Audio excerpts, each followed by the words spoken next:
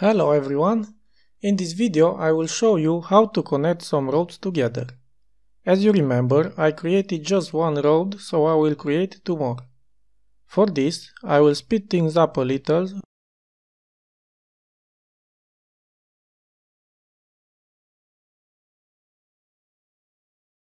Here I have a curve and as you can see it is not very smooth.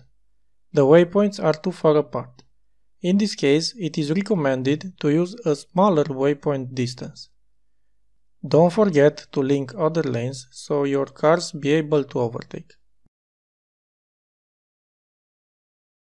Now we are ready to connect these roads together. The connection process is very simple. Just hit connect roads and some red squares will appear on screen. If you click on a red square, only the available lanes to connect will be shown. To create a connection, simply click on the red square you want.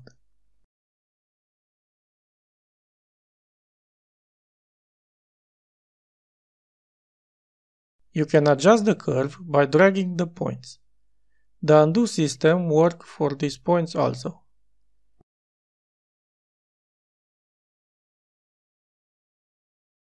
If you are happy with your setup, hit Generate Selected Connection and your waypoints will be generated.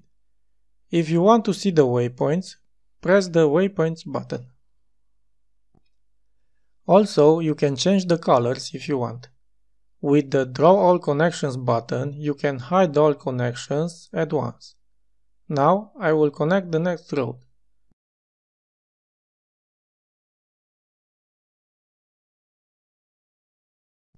I do not recommend you doing this if your curves starting on the same road are intersecting, your cars will collide and they might block your intersection.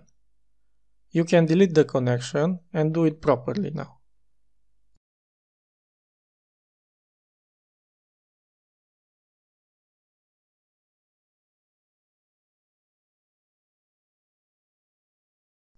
It is not required to connect every lanes with each other, but every lane should have a connection. So if you see a red square, you have to connect it at least to one lane. Hit generate and hide them.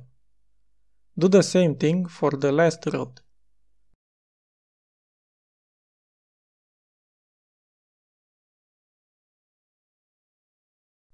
I hide the connection because if you see all of them at once, it will be harder to understand, so I recommend you to hide the curves if you are not planning to edit them. Okay, this is done. Now hit the apply settings and let's see how the cars will go. As expected, the cars will follow the curve path I just created. In the next video, I will show you how to create an intersection that will make your cars give priority to each other. Thank you for watching and as always, if you have questions, leave them in the comments or send them by email.